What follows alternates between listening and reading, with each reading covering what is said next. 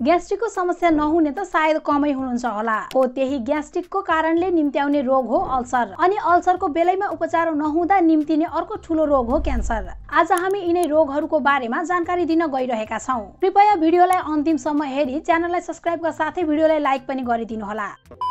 खराब खानपान र खाने शैलीको कारणले गर्दा कतिपयले ग्यास्ट्रिकको समस्यालाई सामना गर्नु परेको छ। त्यसमध्ये कतिपयलाई त अल्सर नै भइसकेको छ। अल्सर भइसक्दा पनि त्यसलाई सामान्य रूप नै लिएर उपचारमा ढिलासुस्ती गरियो भने क्यान्सर जस्तो ठुलो रोग पनि निम्त्याउन सक्छ। त्यसैले यसको अवस्थालाई बढ्न नदिई जटिल हुन नदिई बेलैमा औषधि उपचार तथा रोकथाम गर्न सक्यौँ भने भोलिका दिनमा आइपर्न सक्ने ठुलो खतराबाट हामी बच्न सक्छौँ। अब कुरा गरौँ के हो त अल्सर? अल्सर पेटको भित्री भागमा हुने संक्रमण घाउ वा पुवाल हो। डाक्टरहरूका अनुसार यसलाई पेस्टिक अल्सर वा ग्यास्ट्रिक अल्सर भन्ने गर्दछन्। हामीले खाएको खानालाई पचाउँदा बन्ने एसिडबाट बचाउनको लागि म्युकस नामक बाक्लो पत्र पातलो हुँदै गएपछि अल्सरको संक्रमण हुने गर्दछ। यो संक्रमण गराउने हेलियोब्याक्टर पाइलोरी नामक ब्याक्टेरिया हो।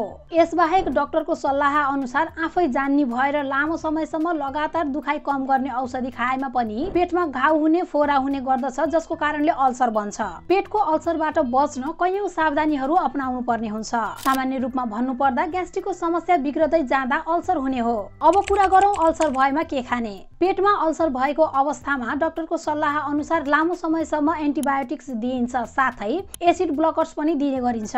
यसबाहेक नियमित बिरामीहरूले सादा तथा स्वस्थ खानेकुराहरूको सेवन गर्नुपर्छ जसले अल्सर पैदा गर्ने ब्याक्टेरियाहरूसँग लड्न मद्दत पुर्याउँदछ।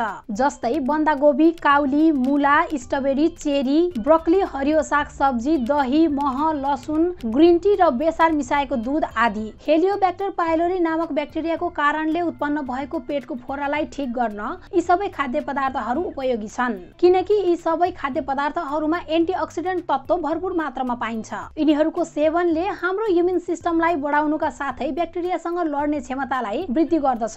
यो त भयो अल्सर हुँदा के खाने भन्ने बारेमा। अब के नखाने भन्ने बारेमा कुरा गरौँ। जो मानिसलाई अल्सर हुन्छ तिनीहरूको पेटमा भएको एसिड उछालिएर बाहिर निस्किँदा समस्या देखा पर्ने हुन्छ।